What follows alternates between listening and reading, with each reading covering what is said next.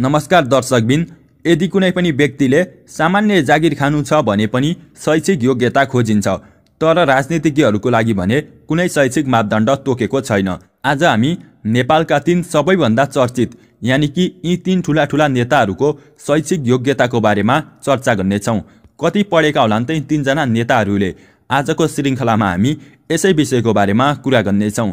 यदि च्यानलमा नयाँ हुनुहुन्छ भने च्यानललाई अहिले नै सब्सक्राइब गर्नुहोला।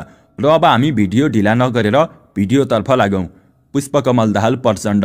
पुष्पकमल दाहाल नेपालको मध्य पहाडी जिल्ला कास्कीको एक गरिब किसान परिवारमा जन्मिएका हुन्। एघार वर्षको उमेरमा उनी आफ्नो परिवारसँग चितवन जिल्लामा सरेका थिए। अब कुरा गरौँ प्रचण्डको शैक्षिक योग्यताको बारेमा। विक्रम सम्म दुई हजार छब्बिस सालमा उनले चितवनको नारायणी विद्या मन्दिर मावि शिवनगरबाट एसएलसी उत्तीर्ण गरेका थिए। त्यसपछि दुई हजार सत्ताइस सालमा पाटन बहुमुखी क्याम्पसबाट आइएससी पुरा गरी रामपुर कृषि क्याम्पसबाट कृषिमा बिएससी गरेका थिए भने उनले एमपिएसम्मको अध्ययन गरेका छन्। पुष्पकमल दाहाल प्रचण्ड दुई पटक प्रधानमन्त्री बनिसकेका छन्। उनी राजनीतिमा आउनुभन्दा पहिले शिक्षक थिए। शेरबहादुर देउबा डडेलधुरा जिल्लाको एक दुर्गम गाउँमा जन्मेका देउबा विद्यालयदेखि नै नेपाली राजनीतिमा संलग्न थिए। अब कुरा गरौँ शेरबहादुर देउबाको शैक्षिक योग्यताको बारेमा।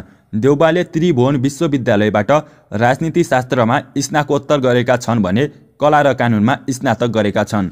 उनी विक्रमसम्म दुई हजार पैँचालिस सालदेखि दुई हजार छयालिस सालसम्म प्रतिष्ठित लन्डन स्कुल अफ इकोनोमिक्समा राजनीतिको अनुसन्धान फेलो पनि गरेका थिए। देउबा पाँच पटक प्रधानमन्त्री बनिसकेका छन् भने अझ उनी भन्छन् म दुई पटक प्रधानमन्त्री बन्छु। खड्ग प्रसाद ओली। धेरै युवाहरूले उनलाई केपी बा भनेर पनि चिन्छन्। तेह्रथुम जिल्लामा जन्मेका ओलीको बाल्यकालको नाम ध्रुव थियो। उनी विद्यालयमा भर्ना भएपछि उनका अभिभावकले नाम परिवर्तन गरेर केपी ओली राखे। अब कुरा गरौँ केपी शर्मा ओलीको शैक्षिक योग्यताको बारेमा। ओलीले कक्षा दससम्मको अध्ययन गरेका छन्। दुई हजार अठाइस सालदेखि दुई हजार चौवालिस सालसम्मको लामो जेल जीवन बिताएका कारण उनले आफ्नो औपचारिक अध्ययन अगाडि बढाउन सकेका थिएनन्। तर ओलीलाई भारतको उत्तराखण्ड राज्यस्थित गोविन्द बल्लभ पन्त कृषि तथा प्रविधि विश्वविद्यालयले पच्चिस चैत्र दुई हजार चौहत्तरमा मानार्थ विद्यावारिधिको उपाधि प्रदान गरेको थियो। नेपालका सबै नेताहरूमध्ये धेरै जस्तोलाई मनपर्ने भनेका केपी ओली हुन् किनकि उनले काम नगरे पनि जनतालाई गफ हानेर भने निकै हँसाउने गरेका छन्। आजको जानकारीमूलक भिडियो तपाईँलाई कस्तो लाग्यो कृपया तल कमेन्टमा लेख्नुहोला र भिडियो अन्तिमसम्म हेर्नुभएकोमा धन्यवाद।